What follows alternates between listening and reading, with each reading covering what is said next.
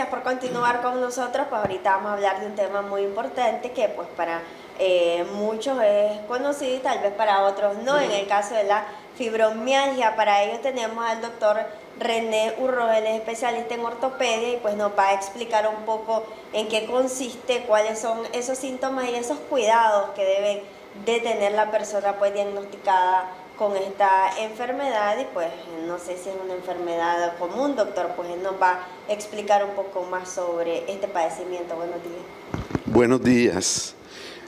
Bueno, eh, la fibromialgia es un padecimiento, eh, yo diría muy importante, poco diagnosticado a veces, incluso hay algunas organizaciones que se han creado en el mundo, eh, precisamente para darle seguimiento y apoyo y, digamos, un poco de solidaridad con este tipo de pacientes. Esos grupos incluso consideran que fibromialgia es un diagnóstico y una patología que no ha sido totalmente bien valorada. ¿ya? Eh, Fibromialgia se empezó a describir un poco después de los años 60 y todavía podemos decir que todavía hay algunas cosas por investigar, hay algunos espacios de investigación que todavía están pendientes. Eh, diría que todavía hay elementos importantes de esta enfermedad, de su causalidad, de sus eh, mecanismos fisiopatológicos que todavía se están estudiando.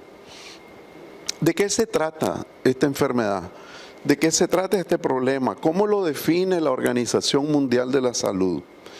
Lo definen como dolores musculares y en las regiones tendinosas, en las regiones ligamentarias, dolores que aparentemente no tienen una causa eh, directamente conocida por el paciente. Otra característica es que estos dolores pueden aparecer, son generalizados, pueden aparecer en cualquier lugar del cuerpo, el cuello, la, la espalda, la cintura, los miembros inferiores, pero se ubica en zonas musculares importantes por ejemplo, en los cuádriceps, en el cuello, en la cintura. Y hay una serie de puntitos, ahí los estamos viendo en la pantalla, hay una serie de puntos que son como los puntos más clásicos, lo cual no quiere decir que sean los únicos. Eh, los pacientes empiezan a manifestar un dolor que es de orden muscular o ligamentario, pero que se va convirtiendo en un dolor crónico. Hay un dato muy llamativo. De cada 10 pacientes, 9 son mujeres. Este es un tipo de problema que afecta más a las mujeres y al parecer, y luego vamos a hablar de qué están diciendo las investigaciones de este momento con respecto a la fibromialgia. Al parecer tienen que ver situaciones de orden afectivo. ¿Ya? Además de algunas patologías de base como algunas enfermedades crónicas. Pueden estar mezcladas. De aquí surgió la clasificación eh, que habla de tipos de fibromialgia. Entonces nos hablan de la fibromialgia tipo 1.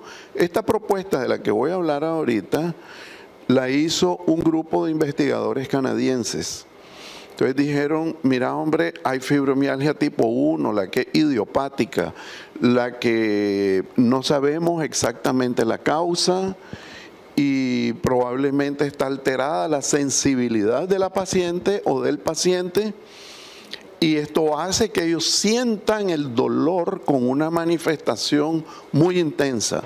Hay alteraciones en su percepción y sensibilidad para el dolor pero no encontramos una causa. Las tipo 2 es esto mismo, pero está asociado a algunas enfermedades crónicas. Por ejemplo, las artritis, diabetes, hipertensión, lupus, algunas enfermedades reumáticas, ya como enfermedades de base que pudieran estar asociadas. Y las tipo 3 son las que están más asociadas a procesos, problemas afectivos de estos pacientes, depresión, ansiedad, insomnio. Eh, incluso esta parte es muy importante porque se ha encontrado que algunas de estas pacientes han sufrido violencia.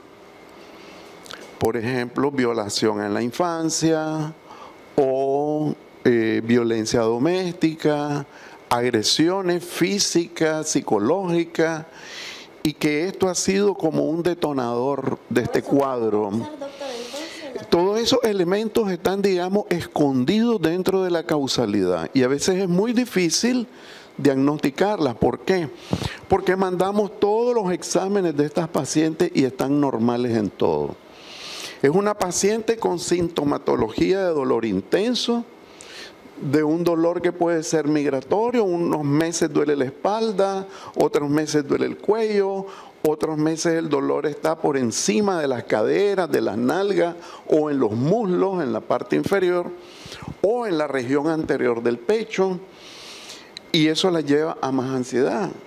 Entonces tenemos una paciente con un dolor intenso, con un dolor crónico, mandas todos los exámenes y todo está aparentemente normal. ¿Ya? De, esta clasificación que, propusieron, que propuso este grupo canadiense, hay otra nueva propuesta de un grupo europeo que dice en la clase número 4 puede ser la asociación de los tres anteriormente descritos, es decir, de la parte idiopática, de que puede haber alguna enfermedad de base y así sucesivamente. Otro elemento importante de esta patología es que usualmente nos va a aparecer entre los 25, 30 a 50, 55 años. Digamos que la edad reproductiva de la mujer. Ese es un elemento que nos atrae mucho, es un elemento que, está dentro de la incidencia de esta patología. Eh, dicho esto, tenemos que pensar, bueno, cómo abordar este problema. Y aquí es donde, fíjense, ni en las causas ni en la forma de abordaje todavía hay mucho consenso. Ahora, pero es una ¿Perdón? En el cuido, digamos, ya una vez que pues le hicieron todos los exámenes, el especialista llegó a la conclusión pues que tiene este tipo de padecimiento, es complicado, digamos, en el aspecto de que la persona se tiene que cuidar. Me imagino que seguido recae con estos tipos de, dolores o los síntomas que tiene esta enfermedad. ¿Cómo es ese? Exacto, bueno, digamos que más que recaer, porque ella está conviviendo con el dolor, más que recaer, diríamos que tiene crisis del dolor. ¿Ya? Y sí, el cuidado y la protección de estas pacientes es bien delicado. Es bien delicado porque tiene que enfrentarse de manera multimodal, es decir, diversos tipos de enfoque. ¿Qué sabemos hoy que es lo más efectivo en esto? La Organización Mundial de la Salud y la FDA de los Estados Unidos solamente han autorizado un medicamento para el manejo de este problema. ¿ya? Eh, eh, este medicamento tiene que ver con los nuevos modificadores del dolor neuropático. Solamente hay uno autorizado, el resto no, lo cual quiere decir que no podemos andar dando que diclofenac, ibuprofen, que cualquier tipo de medicamento, porque no va a ser efectivo. La otra recomendación que ha resultado ser muy efectiva es el acompañamiento psicoterapéutico de las pacientes, especialmente para el manejo de la ansiedad, la angustia, el insomnio. Pero el otro elemento que ha resultado, y eso se está estudiando mucho en este momento, que disminuye grandemente el dolor, incluso logra aplanarlo prácticamente a cero, es el acondicionamiento físico. Enviamos a las pacientes y les explicamos que a pesar de su dolor, empiecen a hacer ejercicio, desde leve y moderado hasta intenso, progresivamente, Pues se combinan aeróbicos y ejercicios de resistencia. Y eso ha resultado en una mejoría muy importante de las pacientes. Los dolores llegan prácticamente a desaparecer. Hoy hay una explicación fisiopatológica de esto. El músculo cuando está haciendo ejercicio fabrica una serie de sustancias bioquímicas que llamamos mioquinas. Por eso se ha empezado a hablar del papel endocrino del músculo, porque fabrica sustancias que son capaces de ayudarnos en una serie de áreas.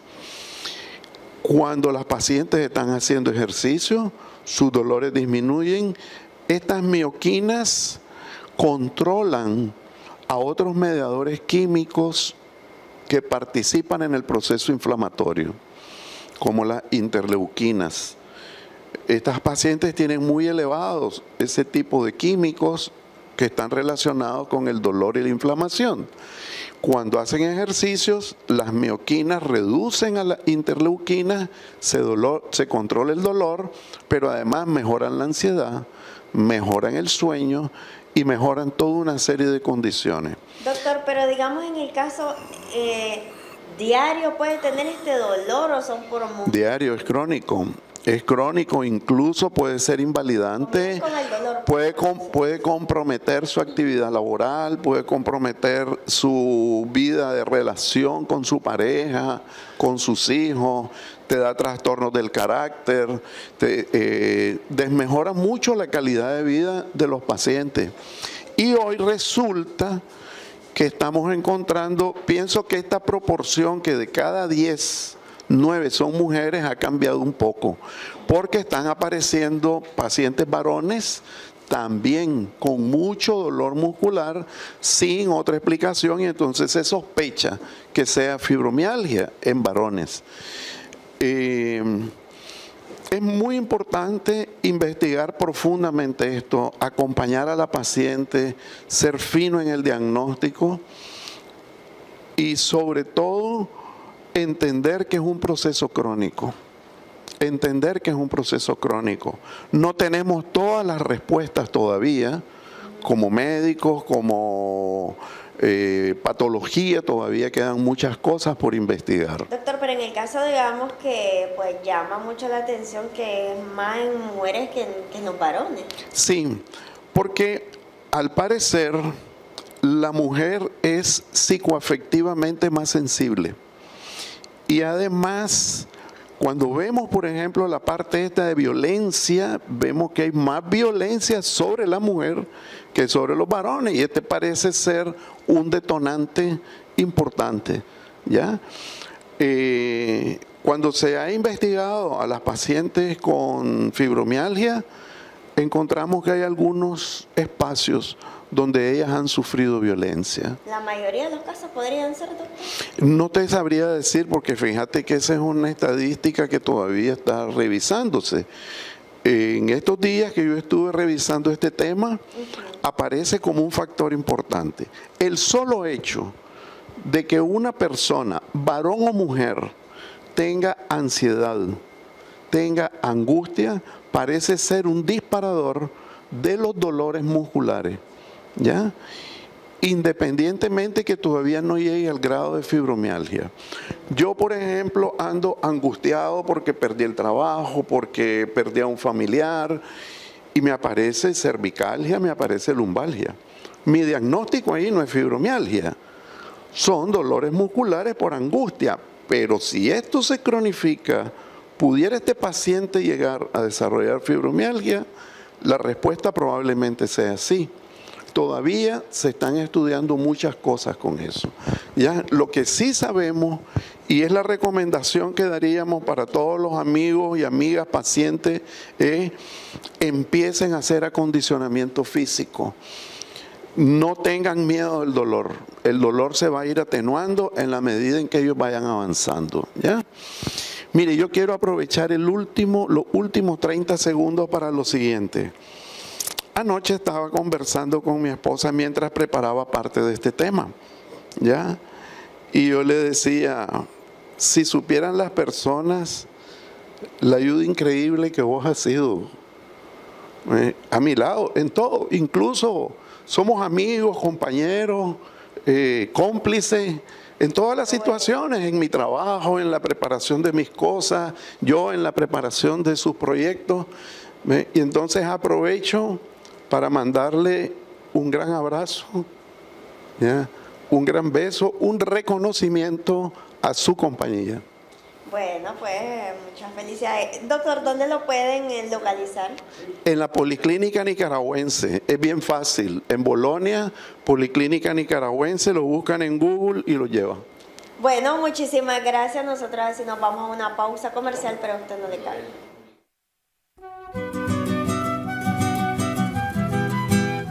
Reconocimientos, denuncias, quejas y sugerencias. Envíelas a Canal 12 Programa Buenos Días Nicaragua, Residencial Bolonia, o llámanos a los teléfonos 2266-0691, 2266-9983, 2266-9984. Escríbanos a nuestro correo electrónico canal12 arroba canal12.com.ni. Redes sociales, Facebook Noticias 12 Nicaragua, YouTube Canal 12 Nicaragua. Twitter, arroba Canal 12 Nic. Visita nuestro sitio web www.canal12.com.ni.